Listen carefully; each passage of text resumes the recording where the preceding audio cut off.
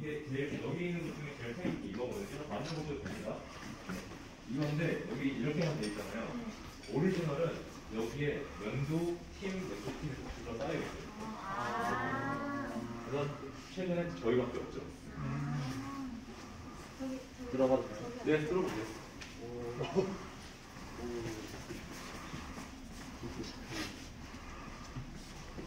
혹시 16년도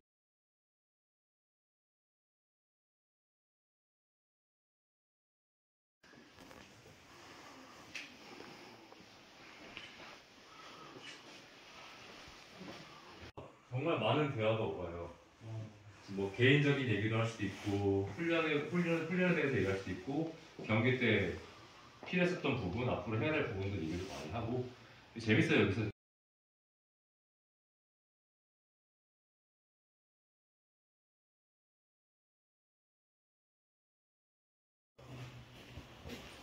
여기는 클럽 전에 으로 멘트